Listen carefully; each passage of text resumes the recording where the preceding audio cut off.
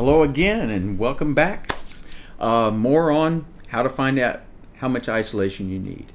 Uh, I was talking about resonance. Resonance plays a part in everything that you do, not only your isolation, but your acoustics and your musical instruments and vocals, and everything. So this is it's important that um, when building your walls, you have to take into account of resonance, and, and resonance changes when you double the air gap.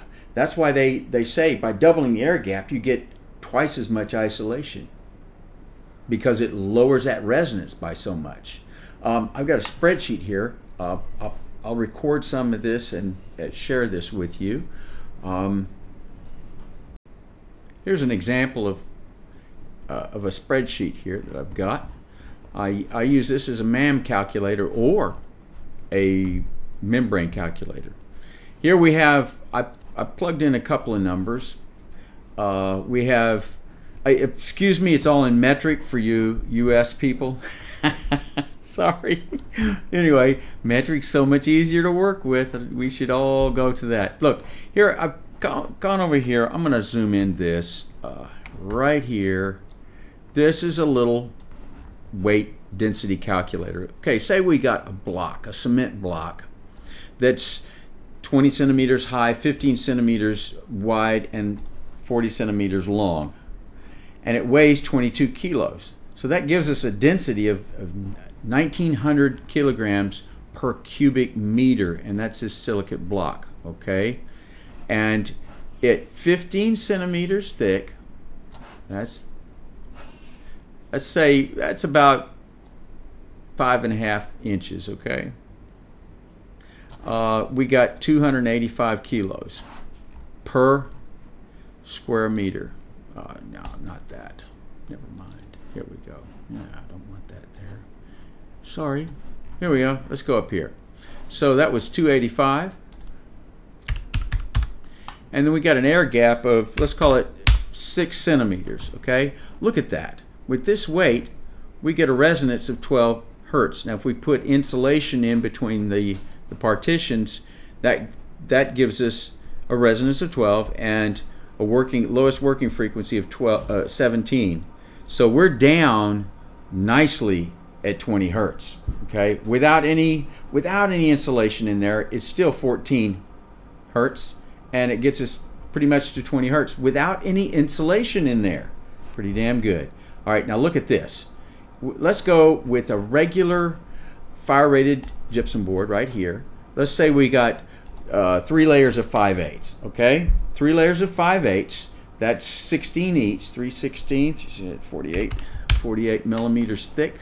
That gives us a weight of 32 kilos, 32.45, 32.45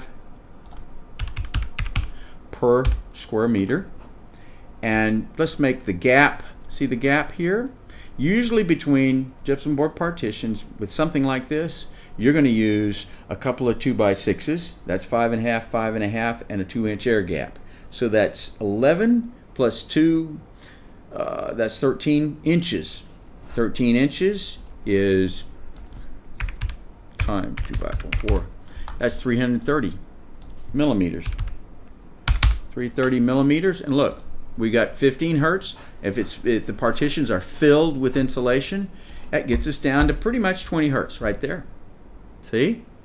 So it, it depends on resonance. Everything depends on resonance, and I I would I highly recommend that you calculate the resonance of the partition based on the mass. You can get this spreadsheet right here. You can get this from my resources page.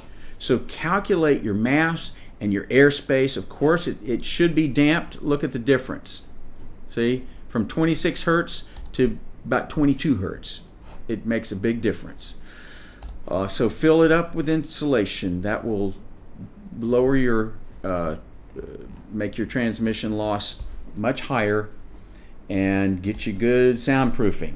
Anyway, so one thing I want to add too is the use of specialty products is honestly often not necessary.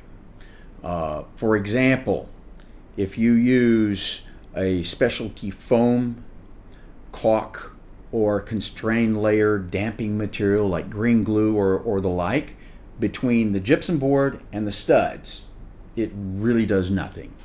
The, uh, for, for example, uh, CLDM, like green glue, is used between large panels where they're sandwiched together and it acts as a constrained layer damping material. This works. It, it, it does good. I, I rarely use it on any of my builds, but it does work. Uh, another thing uh, that's often considered by many is the use of, of mass loaded vinyl. Uh, it comes under many names uh, from different companies.